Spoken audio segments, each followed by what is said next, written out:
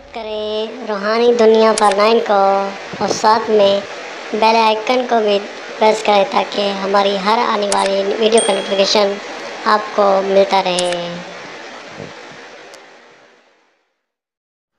आउज़बिल्लिनशैतानरजीम बसमीम YouTube channel रानी दुनिया फ़ानान की जानब से तमाम नाजरीन को वेलकम करते हैं। दोस्तों, आज का मौजू है दुश्मन पर जो है ना जन्नात मुसलत करके उसको शदीद और किस्म किस्म की तकलीफ़ात में मुबतला और सख्त तरीन सज़ा देने का बहुत ही मुजरब अमल आज मैं आपकी खिदमत में शेयर कर रहा हूँ। दोस्तों, इस अमल के ज़रिए जो है ना जन्नात मुसलत हो जाते हैं दुश्मन में और उसके हर अंदरूनी जो है ना जिसम को नोच नोच के उसका कबाड़ा कर देते हैं और जो है ना, दुश्मन की हालत बहुत ही सख्त और बहुत ही तकलीफ़ में मुबतला हो जाती है और वो पागलों जैसी उसकी हरकतें हो जाती हैं। तो दोस्तों, वो जो है ना, जिस पर जिन्नात मुसलत हो जाते हैं तो दोस्तों वो अपने आप को तकलीफ़ पहुंचाएगा, अपने आप को काटने, मारने को दौड़ेगा, सर टक, सर दीवारों में टकरे मारेगा।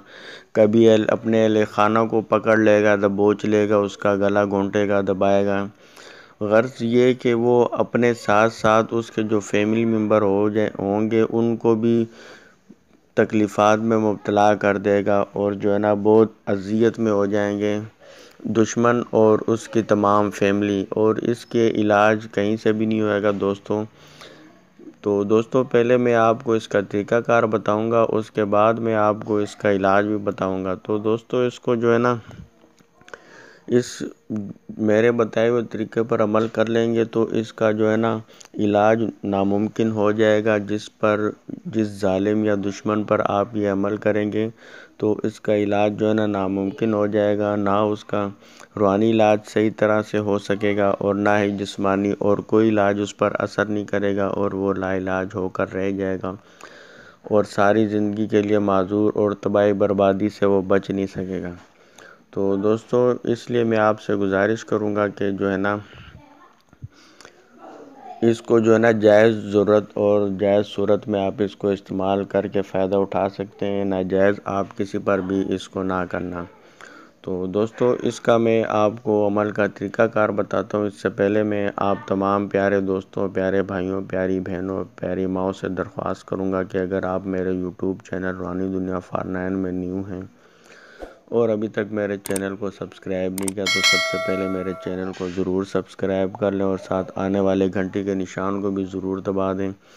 तो इससे ये होगा कि मेरी हर आने वाली मुजरब और आजमूदा अमलियात तावीज़ात से मुतल जो भी अमल की वीडियो अपलोड की जाएगी, वो सबसे पहले आपको मिला करेगी। तो दोस्तों, बिना टाइम वेस्ट किए चलते हैं अमल की जानब। दोस्तों, ये इस टाइम आपको जो स्क्रीन पर ये तावीज़ नज़र आ रहा है। दोस्तों, ये बहुत ही तलिस्माती और जन्नाती तावीज़ है दोस्तों। तो दोस्तों, ये जो है ना, आपने इसको हफ़्ते वाले दिन जो है ना, आपने जवाल के टाइम दोपहर को 12 से एक बजे के दरमियान आपने काली स्याही से ऐसा ही लिखना है, सादा कागज़ पे जैसा कि ये लिखा हुआ है। काली स्याही से इसको आपने सादा एक कागज़ पर लिख लेना है और तो दोस्तों ये आपने तीन अदद ये तावीज़ आपने लिखने हैं और जो है ना अंगारों पे आपने काली मिर्च का जो है ना बखूर जलाना है धुनी देनी है, काली मिर्च लेके उसको पीस के आपने कोयलों पे डालना है। उसके धुएँ में आपने जो है ना तीन अदद ये आपने तावीज़ लिख लेने हैं। और उसके बाद आपने जो है ना, इन तावीज़ को जो है ना, कैसे यूज़ करना है, उसका मैं आपको तरीक़ाकार बताता हूँ। तो दोस्तों, फिर मैं आपको बताऊँगा कि जो है ना, ये लाइलाज कर देने वाला है ालिम या किसी दुश्मन को, उसकी तबाही बहुत हो जाएगी। तो इसलिए जायज़ ज़रूरत के तहत इसको इस्तेमाल करें।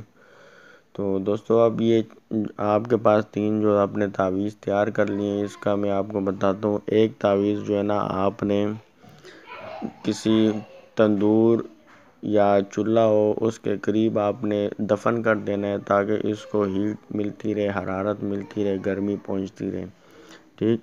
और उसके बाद जो आप दूसरा तावीज़ है, वो आपने जो है ना, उस दुश्मन के घर के दरवाज़े के बाहर आपने वो दफन कर देना है। किसी भी टाइम दफन किया जा सकता है, कोई इसका टाइम टेबल नहीं है। और दोस्तों, जो तीसरा तावीज़ है, उसको आपने जला के जो है ना, उसकी आपने राख बना देनी है।